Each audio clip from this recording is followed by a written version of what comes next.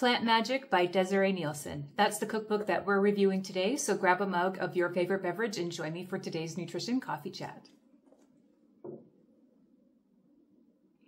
Mm. And while you're at it, click the subscription button below and the little notification bell so that you get everything you need to create healthy eating habits that stick.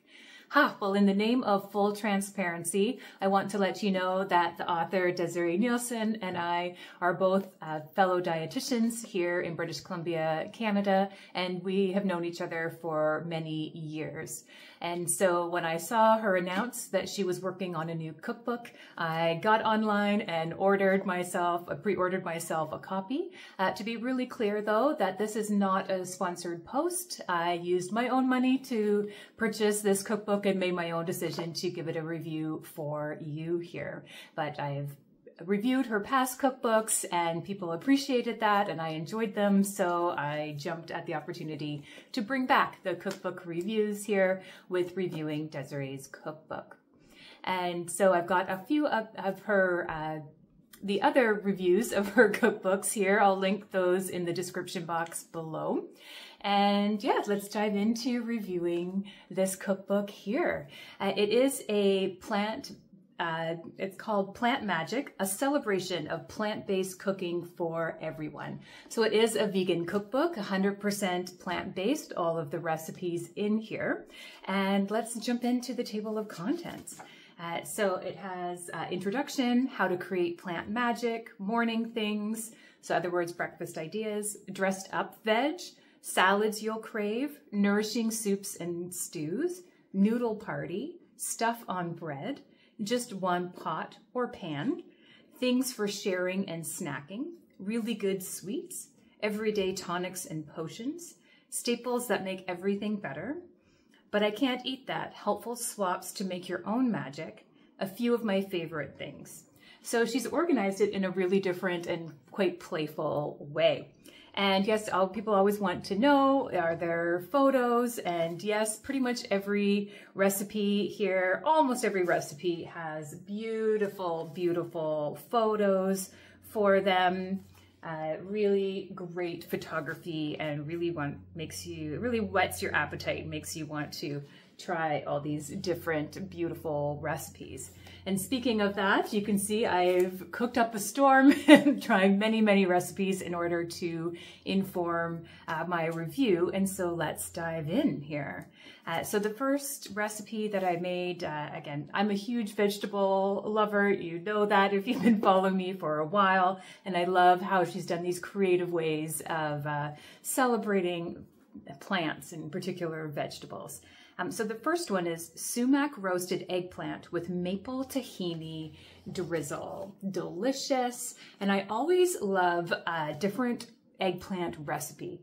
I love eggplant. Eggplant, I feel, is a really delicious vegetable, but I always say that eggplant isn't a beginner vegetable. It's not one that if you don't know how to cook it, mm, you're not going to do very well.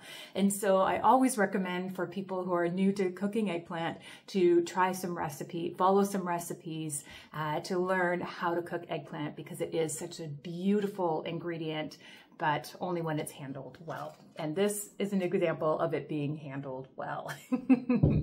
okay, next recipe here, braised fennel and lentils. Ah, again, an undersung vegetable. Fennel, often people don't know what the heck it is. What do you do with it? And so I love it. Same with lentils. I get a lot of requests from clients, from you folks here. How, you've heard that beans, lentils, these things are so healthy for us, but don't know what the heck to do with it. So braised uh, fennel and lentils is a delicious something to do with that vegetable and lentils. Uh, next recipe I tried is smashed potatoes with Bravas style paprika gravy. This is one of the very few recipes that doesn't have a photo here, uh, but I have spent time in Spain. I love papas, uh, bravas, and so I wanted to try this recipe. And yes, really flavorful, very, very delicious gravy here for this recipe. Okay, moving on to salads. Uh, lentil, orange, and radicchio salad with mint. Oh my goodness, this is so up my taste buds alley. I love it and it, oh my goodness, the flavors are even brighter than those colors there.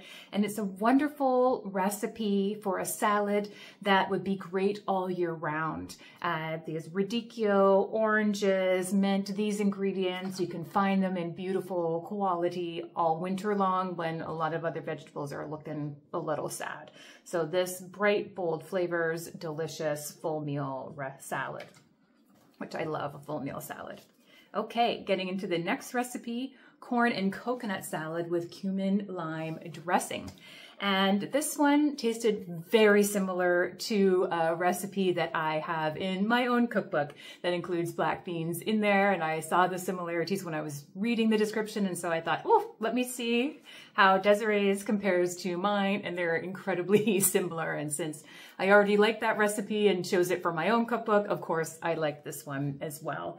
Uh, and I also love this one again um, for how great a recipe this will be all year round when you're using frozen corn niblets and cherry tomatoes. So again, vegetables, when they're a little sad in the winter, this is a great bright salad and celebrates the vegetables that we have available to us all year round. Okay, next recipe here, brined rice salad with pomegranate and pistachio. Now, this one I had to try because it really intrigued me. Uh, I, I love all of those ingredients. I love pickles, I love pomegranates, I love pistachios, but I really couldn't picture what they would taste like all together there. So I was like, I have to try this because this is blowing my mind here and uh, it is delicious. I would say that it's in the strangely good category there. The flavors are a unique combination, but they're bold and uh, fascinating combination that just kept me eating and eating this recipe. Uh, so if you are someone who loves bold flavors and has found that when you've tried plant-based eating, it's pretty boring and flat, no way. This is an example of a recipe that uh, is plant-based and wow, powerful flavors. Okay, next recipe, broccoli salad with tahini ranch. Uh, I love a broccoli salad, particularly in the summertime. It's a great kind of potluck barbecue staple, so I thought I'd give it a try. Uh, and yeah, this broccoli salad is, I felt, delicious. It's an improvement on that classic one. Uh, nice that it's a vegan option. Um, and however, calling it tahini ranch, mm, I didn't really get ranch vibes from the recipe, the salad dressing, but the salad dressing was delicious. So don't get me wrong, it's a delicious salad dressing. I love ranch dressing because I am not vegan myself. Uh, and so I thought I'd give that a try.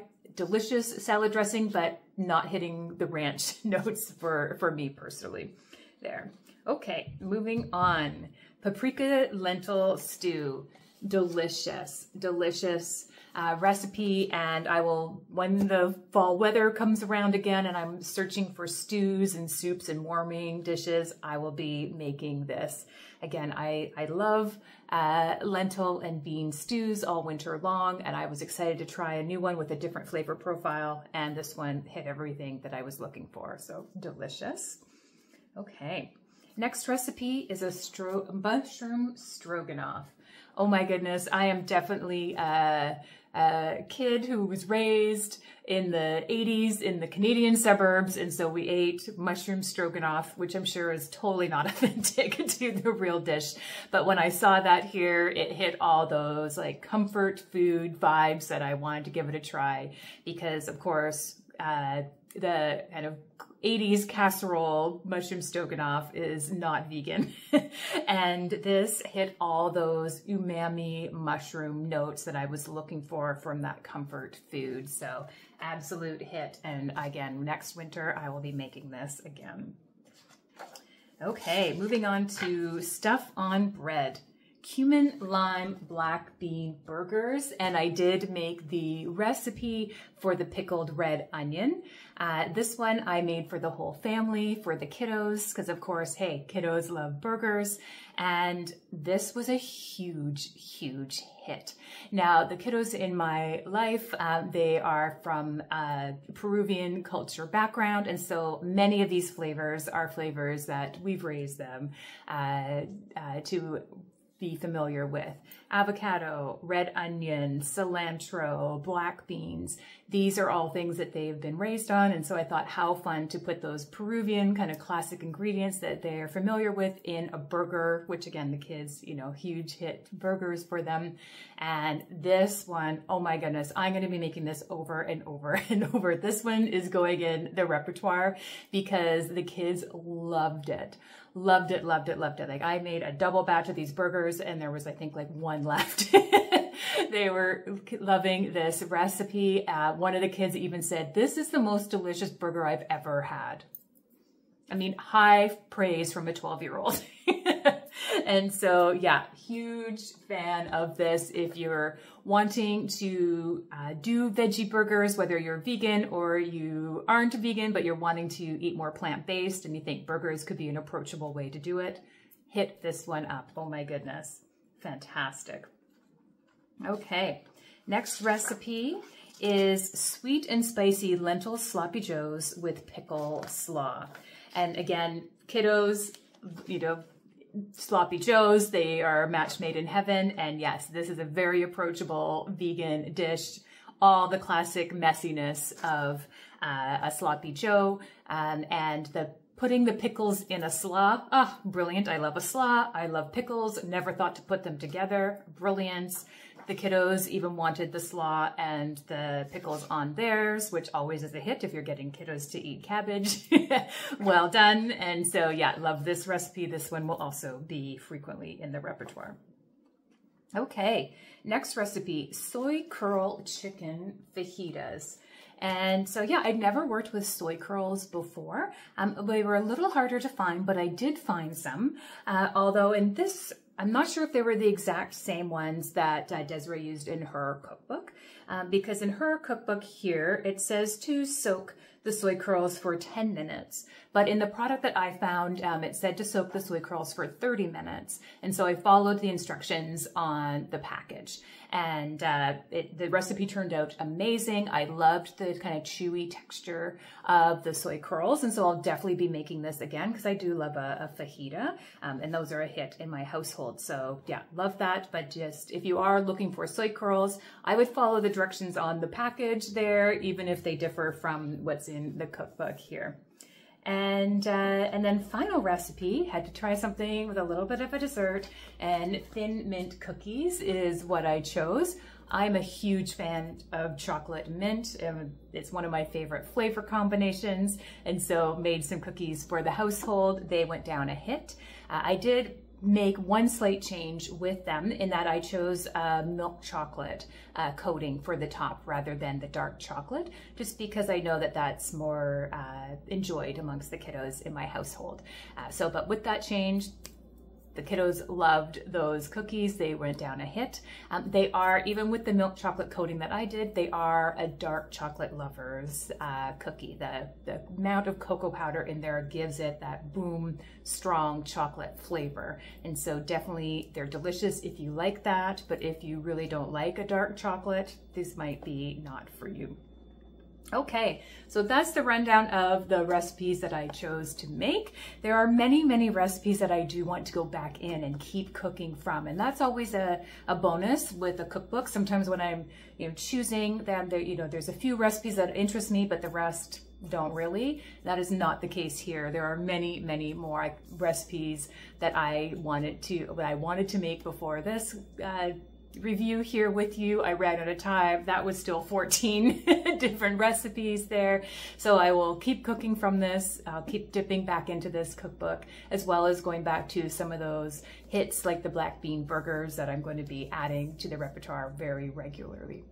So in conclusion, do I recommend this cookbook? I think you're going to already know the answer to that, at least partially, that yes, I am a big fan of this cookbook. Although I'm going to disagree with the description on the front cover because the description on the front cover again said a celebration of plant-based cooking for everyone. And it's the for everyone that hmm, I'm going to disagree with here. Uh, the recipes in this cookbook are excellent if you're already comfortable in the kitchen. So if you're comfortable in the kitchen, this is, and you love bold flavors, you want to incorporate more plant-based eating, or you already are vegan, then this I highly, highly recommend. However, if you are a novice cook uh, and you're looking for like quick and easy 15 minute meals, give this one a pass. Uh, these these recipes are a bit more involved, there's longer ingredient lists, and many of them do take a bit more time. Absolutely are worth it. they are delicious, but I would say not necessarily a beginner friendly cookbook here. So if you are like me in that first category, comfortable in the kitchen, looking for some bold flavors and incorporating more plant-based recipes, I highly recommend it. Head on down and purchase that to either support your local bookstore or if you buy your cookbooks or your books in general from Amazon, I do ask that you use the uh, link that I've provided in the description box below. Uh, when you do so, I earn a small commission uh, at no extra expense for you. And that's just a wonderful way to support uh, this channel. Are there other cookbooks that you'd like me to review in the future? Please share that in the comment box below. I'll be back next month with a new video. And in the meantime, enjoy healthy eating.